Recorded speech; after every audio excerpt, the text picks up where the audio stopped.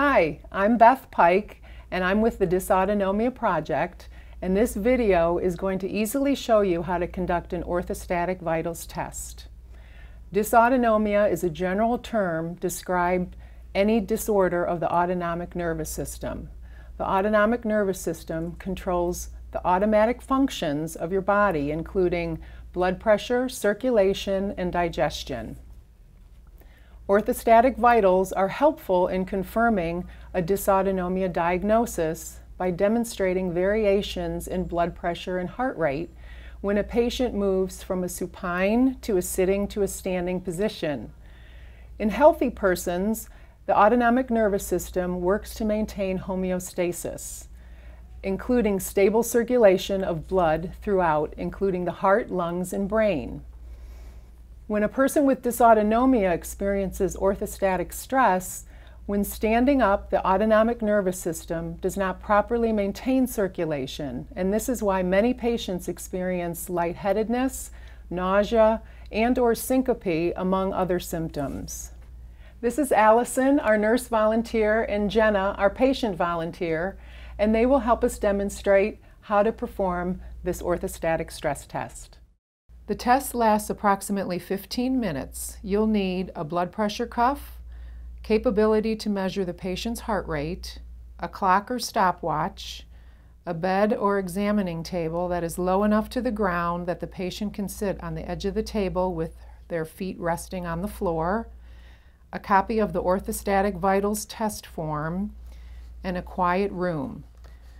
Due to the diurnal variability of hemodynamics, it's ideal to conduct this test in the morning hours, but may be conducted at any time during the day.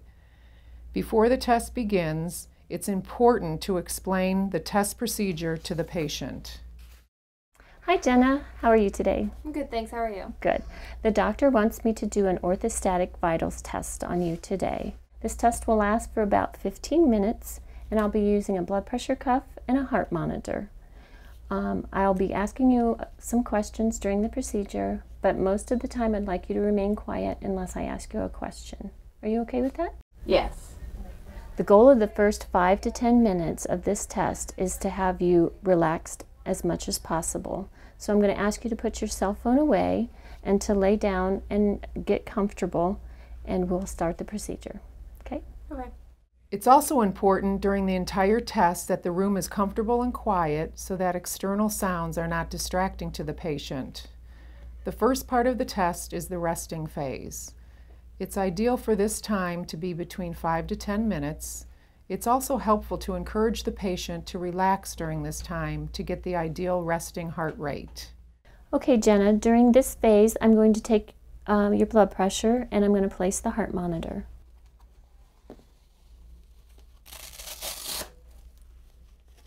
Just relax your arm.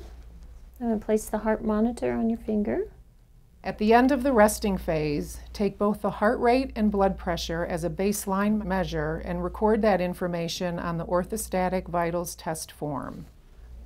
Okay, now you're going to feel the blood pressure squeeze your arm, and I want you to just try to relax as much as possible.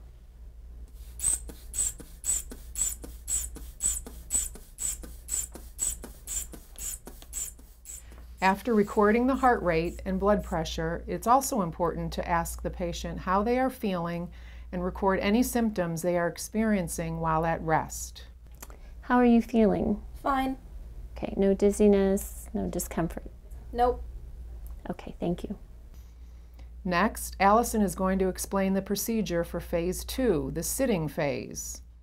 Okay, Jenna, I'm going to ask you to sit up in just a few minutes, but I want to remind you to get your feet on the floor as much as possible.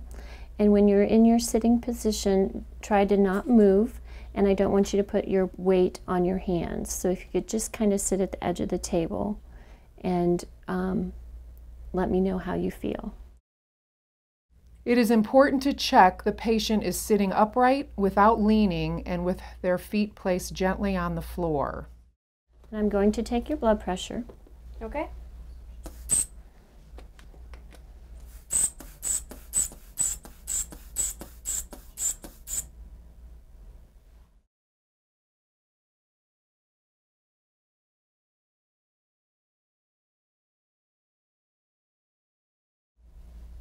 How are you feeling? Dizzy and lightheaded. Dizzy and lightheaded, okay. The recording of the patient's symptoms experienced throughout this test is as important and in some cases more important than the actual numbers. So be sure to include as much detail as you can about what the patient says. It may be helpful to record anything they say word for word in quotation marks. Before transitioning to the standing phase, it is important to caution the patient to sit down immediately if they experience symptoms of presyncope or faintness. Okay, now at this part of the test, I'm going to have you stand up for five minutes. At any point in time, if you feel dizzy or the need that you need to sit down or lay down, please go ahead and do so because your safety is the top priority. You don't need to ask my permission, just go ahead and sit down or lay down. Do you understand? Yes. Okay, so I'm going to have you stand up and we're going to take your blood pressure and your heart rate. Okay, it's been one minute and I'm going to retake your blood pressure.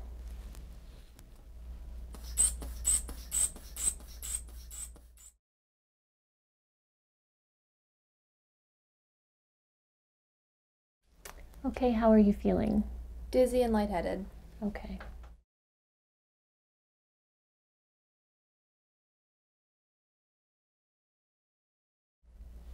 Okay, it's three minutes and I'm going to take your um, blood pressure and heart monitor.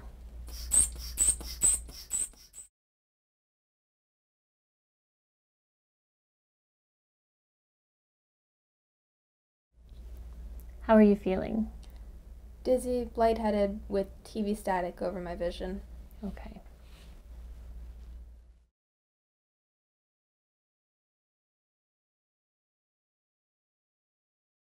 Okay, it's been five minutes. I'm going to repeat the blood pressure and the heart monitor.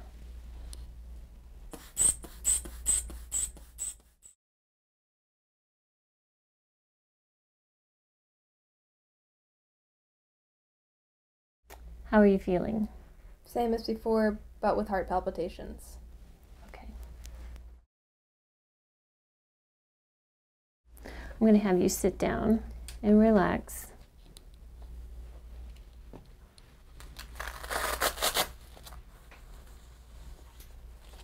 Okay, Jenna, what a great job. We're all done. Mm -hmm. Now, do you feel like you need to lay down? Sitting is good. Okay. During the recovery phase, record the summary of findings at the end of the form. At the bottom of the form, calculate the difference in the lowest resting heart rate from the highest recorded heart rate. Place that number in the blank of the orthostatic heart rate increase. Once you have finished recording the information, you are all done. Once you've recovered, then um, I'll help you out to the front area. Thank you. You're welcome. Have a good day. You too.